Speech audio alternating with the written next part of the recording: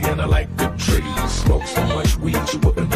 And I get is a through barrier imaging radar, developed by Electronics and Radar Development Establishment, LRDE, a Bengaluru-based DRDO laboratory, India. Divyachakshu is designed to be capable of scanning through walls and is expected to help the Indian Armed Forces in conducting hostage rescue operations. This is the first equipment of its kind that Indian Army can equip with. DRDO most advanced radar can capable of look through walls of 20 to 30 centimeters thickness made of any material by using thermal imaging. The radar can produce images from the other side of the barrier up to a distance of 20 meters. Radar can catch the thermal signatures and movements in a room and represent them clearly.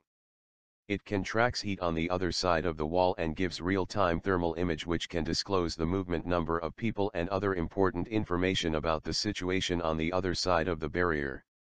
It proves very useful in determine the terrorists' activities as it can detect the nature of movements and can help in locating the terrorists and differentiate them from the hostages.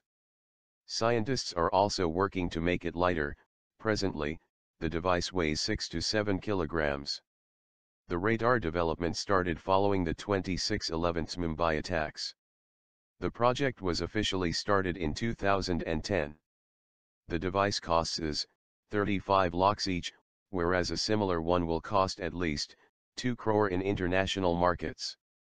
The DRDO is looking at the Indian Army, the BSF, and paramilitary forces as potential buyers. Currently, the radar is undergoing development trails.